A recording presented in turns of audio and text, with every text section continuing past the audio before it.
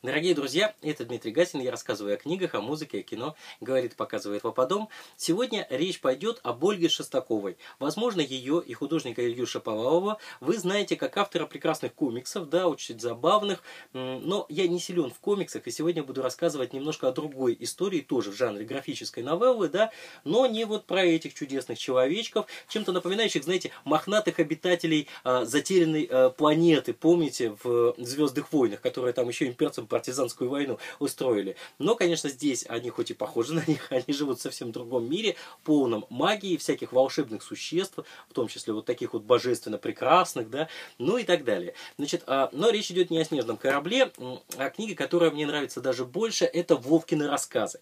Вовкины рассказы тоже графическая новелла, причем сделанная в смешанной технике. Здесь используется несколько приемов для комиксов, я думаю, очень характерных, но придающих какое-то особое очарование очень простым и занимательным занимательным сюжетом. Книга рассчитана на старший дошкольный и младший школьный возраст.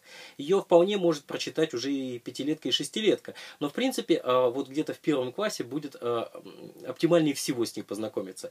Почему? Потому что на самом деле здесь а, несколько очень важных тем затронуто, и мне понравилось, как они изложены. Вовка это веселый пацаненок, у него есть младшая сестричка Зоя, она появляется совсем не, не сразу, да, значит, и вот первая история, это Смешулька, это как раз про эту самую смешнульку, сестренку, которая у него появилась, и медленно и постепенно он начинает понимать, какое же это замечательное чудо, как это здорово быть э, старшим братом. Ну, не всегда прям такой уж подарок, конечно, да, и вы это э, увидите в книге, но вообще это, конечно, прекрасно. И вы знаете, ребенок тоже должен э, это понять сам. Ему надо э, дать дойти до этого чувства, дорасти до этой мысли, потому что на самом деле нам практически ничего не дано от природы. Мы социализируемся, мы все это приобретаем постепенно. И, конечно, ребенок тоже сможет это понять. Но Вообще, Вовка живет весело. Надо сказать, что все рассказы, они написаны очень-очень э, популярным современным языком. Да? Вот, допустим, «Зомби-кот», э, рассказ, который, в общем-то, в точности соответствует поведению этих самых питомцев. Я честно вам скажу, я не кошатник, я не собачник.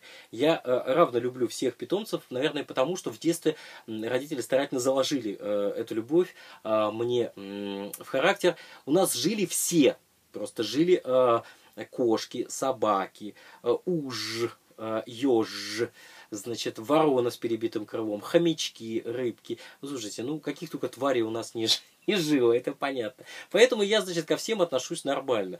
Вот. А были любимцы, конечно, безусловно. Вот, а, вот эти светящиеся зеленые глаза, они зачастую приводят к некоторым инцидентам.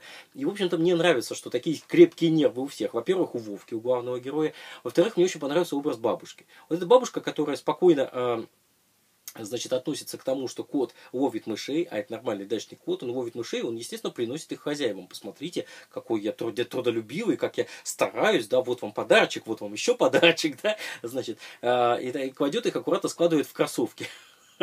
значит, Вовке. Ну вот, а бабушка вместо этого а, спокойно, значит, э, к этому ко всему относится. Поэтому, когда выясняется, что этот самый кот а, душит мышей, но не приносит их, значит, неужели жрать их начал? Наконец-то нет, ни в коем случае. Он, значит, помогает ежихе выходить ежат. Вот. Не все знают, что милые-милые ежики, которые такие прекрасные, а, значит, в этом самом, в мультфильме, они вообще-то хищники. Причем хищники довольно прожорливые. Охотятся они на тех же мышей. И ежиха, у которой целый выводок маленьких ежат, которых нужно кормить, была бы, наверное, очень благодарна э, таким подарком, потому что кот э, помогал ей прокормиться и прокормить детенышей, да, вот, она, значит, чтобы их скормить, должна была охотиться, и с охоты приходит, ага, а вот уже лежит, значит, э, ей приготовлена мышка. Вот такая история из мира природы. Это, на самом деле, трогательно, это очень естественно. Очень хорошо, что нет вот этого сюсюканья, да, по поводу того, что э, в мире все э, живут в гармонии и дружбе. Конечно, пока сытые, безусловно. Ну вот, прекрасная история про спасенного карпа, да, значит, это все началось со стрекозы. Прекрасная история, значит, про то, как а, постепенно, а, очень хороший дедушка такой тоже, моряк. Вообще в этих книгах, в этих рассказах, они очень короткие. Вы видите, что текста не так уж много. А, огромное количество природы, активных действий, вот тех самых, противное слово, активность, оно а, калька, оно а, иноязычное, не прижилось в русском языке. Но именно такого а, скажем так, не сидячего времяпровождения на природе, охота, рыбалка, поездка как, куда-то на дачу, да, а, какие-то действия, да, это прекрасно. Родители в этом отношении, а, Вовкин, очень сильно отличаются от родителей дяди Федора, которые, значит, потом тоже перевоспитались к третьей серии, вы же помните, да. Но на самом деле, конечно, здесь уже все хорошо и очень много таких вот именно мне крайне симпатичных времяпровождений. Вот.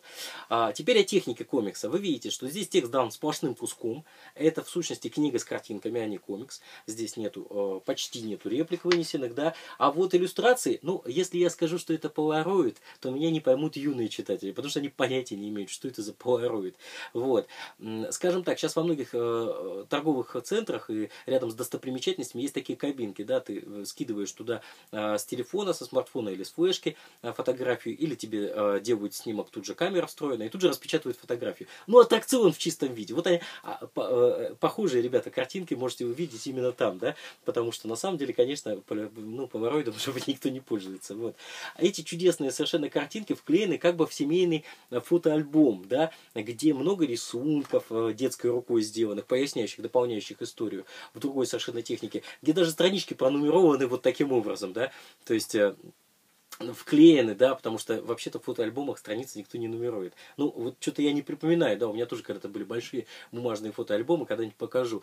А, там было много смешного, но страницы точно были не нумерованы. Это очень тонко подмечено, что здесь они... В общем, это такая семейная история, которая всем своим э, э, видом, да, в том числе вот такими мелочами, да, художественного оформления, дает понять, что это очень э, доброе семейное чтение, э, где вся семья важна, где даже те герои, которые появляются эпизодически, вроде бабушки, дедушки, да, они все равно чрезвычайно важную нагрузку идеологическую несут, говоря казенным языком. И, в общем, это продолжение той самой линии хорошей детской прозы, которая воплощается по-разному, оформляется по-разному, может быть, кому-то непривычно, да, и прорисованный от руки текст, и, значит, вот такое оформление. Но, тем не менее, по сути, это те же самые э, прекрасные э, герои, прекрасные традиции э, прозы, которые мы условно назовем советской детской литературой, хотя она была и какая угодно, и до советской, и после советской, и, вот. А, но на самом деле это то, на чем мы выросли. Читайте Ольга Шестакова, художник Илья Шаповалов, Вовкины рассказы. Вот. Это а, первая книга из а, целой серии, насколько я понимаю, да. Очень интересно, будет ли сезон первый, сезон второй. Видите, да, они названы даже как мультсериал. Вот. Короткие графические рассказы для детей старшего дошкольного, младшего школьного возраста. Студия Эвалар. Спасибо за внимание.